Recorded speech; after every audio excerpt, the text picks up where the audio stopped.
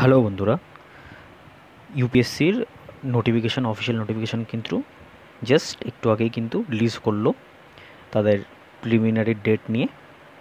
তো যারা ইউপিএসসির প্রিপারেশান নিচ্ছ বা এই বছর দু হাজার কুড়িতে প্রিলিমস দেবে, তারা কিন্তু ভিডিওটা ভালো করে দেখো, ঠিক আছে? তো আজকে নোটিশ দিয়েছে গভর্নমেন্টের তরফ থেকে, তো নোটিশটা কী আছে চলো দেখা যাক। এই যে public service commission press release May four twenty twenty তো কী লিখেছে দেখো? Special meeting on May four twenty twenty to review the situation after the second phase of nation wide lockdown due to COVID nineteen the civil service preliminary examination two thousand twenty schedule to be held on thirty first মেতে হওয়ার কথা ছিল, ঠিক আছে? সেটা কিন্তু change হয়ে যাবে। এবং সেই চেঞ্জের ডেটটা ওরা কিন্তু মে মাসের কুড়ি তারিখের মধ্যে জানিয়ে দেবে। ঠিক আছে?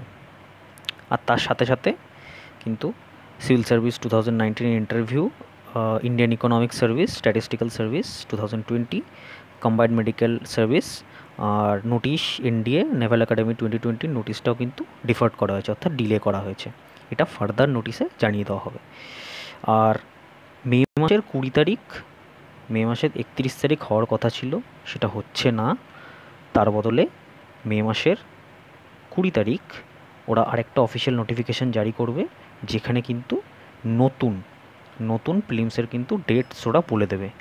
সেই ডেটসটা অ্যাটলিস্ট সে ডেট মানে যেদিন নোটিফিকেশান বলবে, সেই ডেট আর ফিলিমসের ডেটের মাঝখানে কিন্তু অ্যাটলিস্ট তিরিশ দিনের ওরা গ্যাপ লাগবে।